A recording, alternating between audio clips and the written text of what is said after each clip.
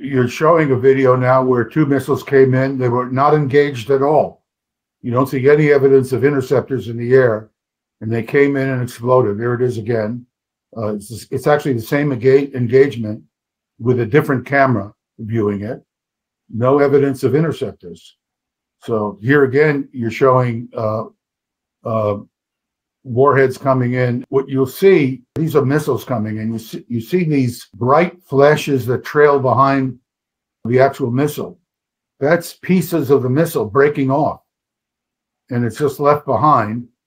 And the net result is the pieces of the missile slow up and fall to the ground. And in fact, what happened in the Gulf War of 1991, and it looks like it happened here as well, is the warheads basically got torn off the front of the missile and fell independently.